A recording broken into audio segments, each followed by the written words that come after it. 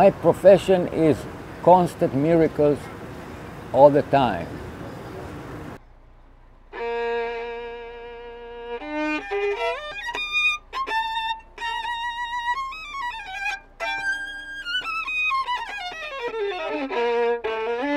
My parents were born in Poland and they survived the Holocaust as children in different ways and met in a kibbutz in Israel that I was born, Kibbutz Dan, on the north of the Galilee.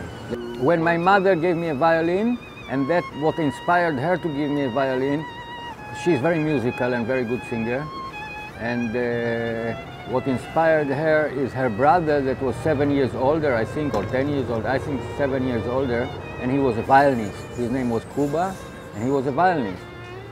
One of the stories she tells me how she, he goes to the window when they are in the ghetto Warsaw, and he sees his, his teacher from the conservatory uh, standing in the street and playing for food, for coins, and he's crying.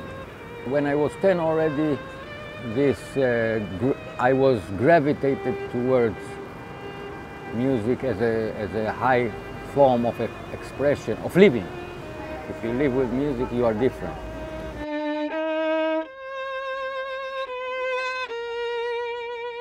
I needed a mission in my life.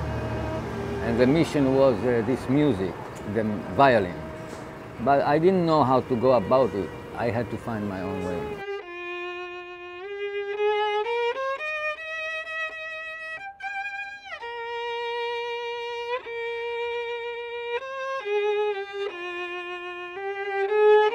This is the first year I spent so much time in Kensington. I was in Queen and Logan playing last year, and, and Logan and Danforth, and I always play Greenwood this and, and, and uh, Greenwood and uh, Danforth, and, and I play sometimes spontaneously anywhere, and it's okay. Kind of, it's always busy in nice days. There are enough people and enough different people because it's a famous place that everybody comes, and I feel here at home. The hardest places to busk for me was one city in Israel, Netanya, and and uh, uh, Winnipeg. In general, Toronto is the best in the world for a busker. Well, how can you say that? It's from my experience. But Israel is great, Turkey is great, Moscow is great, New York is great, Berlin is good, good. Europe, there is more like, it's different culture. In, in Europe or Germany especially, there, uh, there is still this um, order, so much order that people are not used to break the order. So they will not give you. But I broke it when I was there. I had my good time. Took me time to find my way, but I struggled. If you don't give up, the world gives up to you.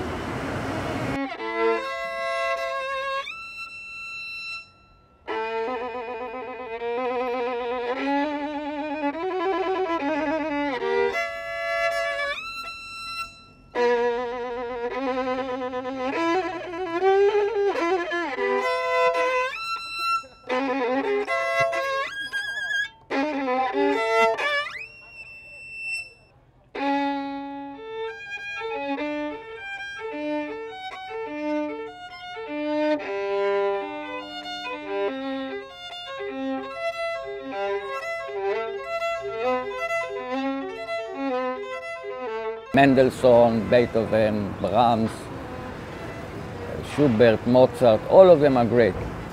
But my bedroom is Bach. Maybe because he's, he never, there is no doubt for him that, that God is good, that the universe is good. I had to give up to say, I don't understand this music. I, Bach was too deep for me for a long time. I didn't understand. I knew that I play it and people say beautiful, but I didn't feel I got it. And I told my friend today, this morning, what is the difference between five years, 10 years ago, 20 years ago, and today that uh, God came into the equation? Any form of art and behavior, everything you can incorporate this moment that you are totally 100% involved. And that's what the music says, 100% involved. Sometimes I felt uh, uh, uh,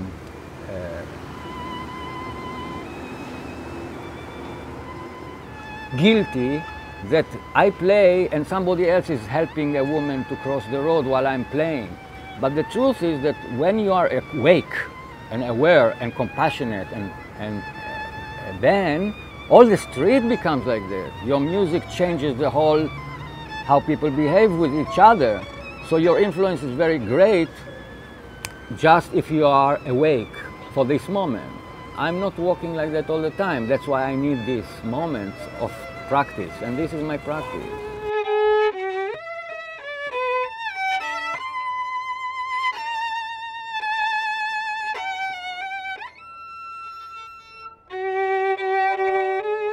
God grew bunions on my on my feet, so I can't. It's hard for me to put shoes, and naturally, it's uh, I, I stand for hours and my feet uh, sweat. So I take off my shoes and I and then I feel much better, and then I walk more bare feet, and it's better, and everything is better when you are bare feet. Also, your walking is more gentle, more listening to the ground, more careful. People say you don't walk on glass.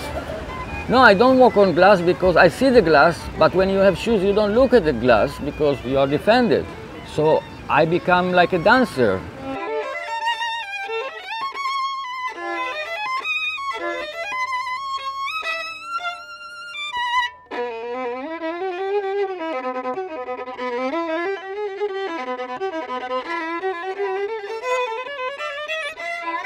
Now I have no dreams because this dream of becoming a soloist on the stage doesn't interest me anymore because I like more this uh, prophecy uh, theater.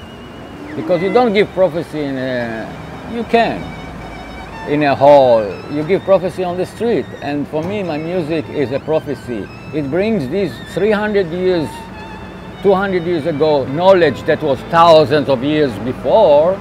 It brings it to today and shows us that what face the problems that Bach faced in his life and his view about the world and about God, about all, is the same today.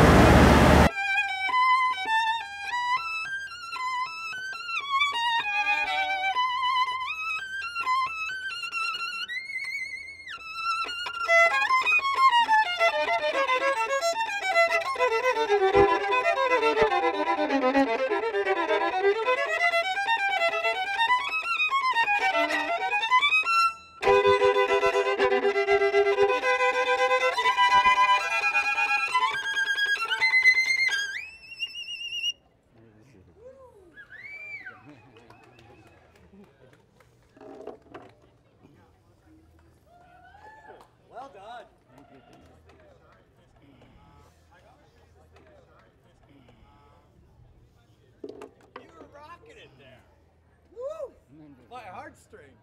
Thank you so much. Thank you.